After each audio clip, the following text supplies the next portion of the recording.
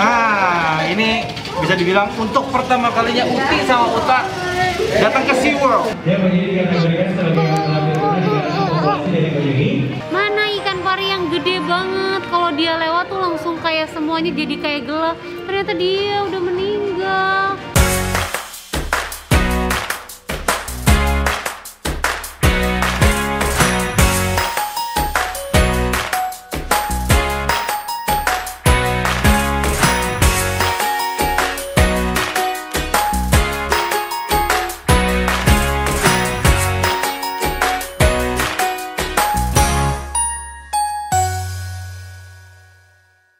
Wah, habis dari samudra tadi udah puas-puas. Iya. Sekarang kita belum berakhir perjalanannya. Kita sekarang akhirnya ke SeaWorld. Ke SeaWorld ini sebenarnya ajang kita neduh juga. Betul. Tapi emang kita juga punya tujuan ke SeaWorld sih Betul. sebenarnya. Jadi tadi dari samudra kita sengaja jalan kaki menuju ke SeaWorld. Nah, pas lagi jalan hujannya gede Parah banget. sampai nyeker. Sampai nyeker. Sampai sekarang celana aku juga masih belum kering. Tapi sekarang udah lumayan agak kering karena tadi kita sempat makan dulu sebentar. Nah, sekarang kita harus buru-buru. Ada atraksi hiu. Oke, Ayo. seperti apa sih SeaWorld? Uta sama Uti belum pernah masuk nih. Langsung kita berangkat. Mari.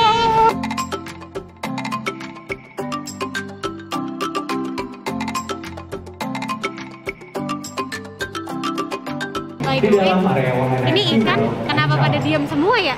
Kan harusnya kan kalau ikan kan gerak terus ya. Cuman kenapa dia diam ya? Ini piranha bukan sih? Bener piranha guys. Tapi kenapa pertanyaannya dia diam ya? Apa kalau nggak ada mangsa emang dia diem ya? Nanti kalau ada mangsa baru kucuk kucuk kucuk kucuk kucuk gitu ya?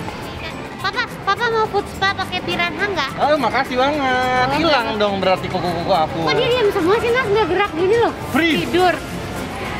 Apa gimana sih kalau aku baru lihat ikan diam doang begini? Kayaknya dia lagi pose deh. Kita di dalam akuarium mas. Lihat kita di akuarium. Wow, Ikannya ada di atas. Kita dalam air.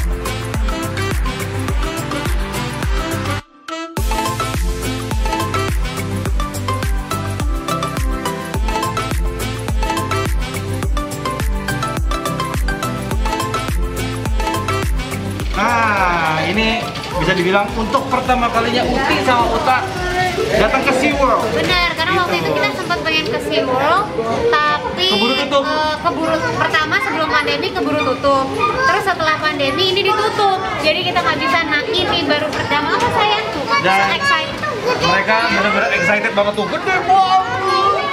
Tuh, gede banget tuh. Tuh, gede banget. Oh, mulutnya deh. Lihat mulut, mulutnya deh, mulutnya. Serem ya? Ikan apa itu ikannya berarti Nih, nih apa nih, ya? ada Uti nih. Serem ya ikannya mulutnya gitu wah.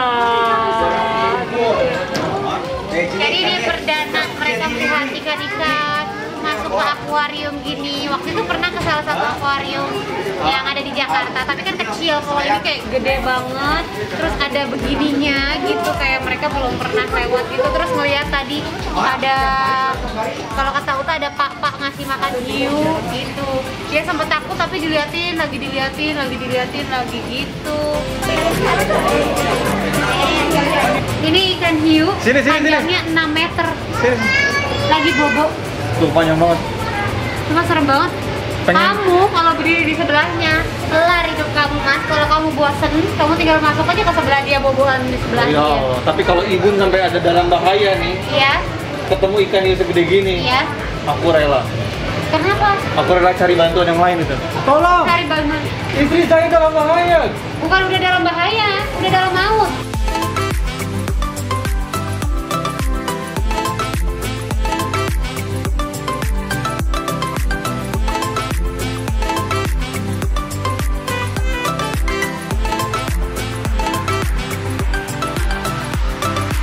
Jadi kalau aku sendiri pengalaman ini baru kedua kalinya seumur hidup datang ke SeaWorld. Waktu itu masih sama teman-teman. Sekarang sama anak-anak. Nah, kalau aku mah kan emang karena tinggalnya di Jakarta ya. Jadi kayak Ancol ini tempat hiburan aku ke dunia fantasi. Terus pertama kali ada Sea World, excited banget ke sini sama orang tua aku sama mama papa. Sekarang rasanya kayak time flies, asik time Kita flies. jadi mama papa sekarang. Iya, bawa anak-anak.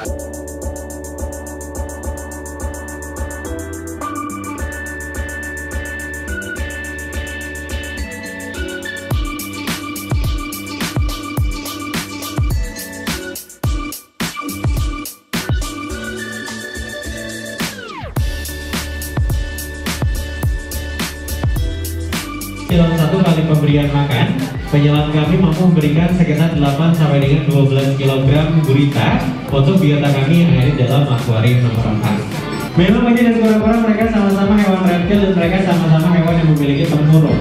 Tapi ternyata antara monyet dan kura-kura itu memiliki beberapa perbedaan.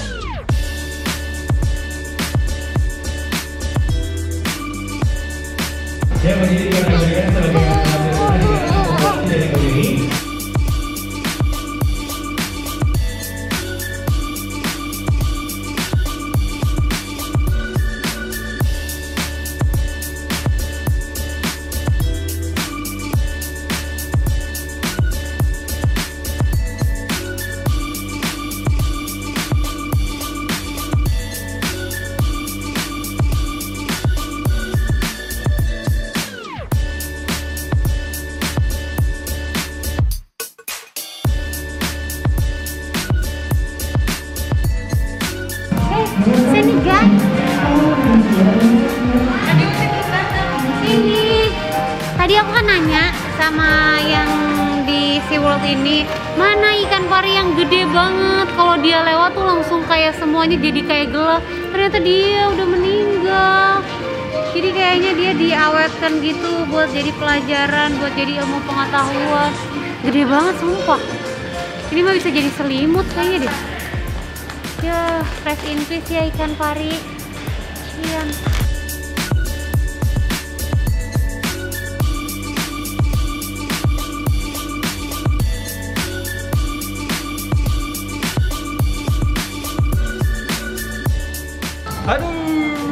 Tadi seru banget. Alhamdulillah eh, di bagian terakhir eh, hand feeding di akuarium yang besar ini kita bisa melihat hiu yang paling besar yang merupakan penghuni paling besar di tangki ini. Yang tadi, yang Hiu tadi eh, kita lihat eh, lagi bobo, hiu yang panjangnya 6 meter, namanya hiu ikan hiu buto.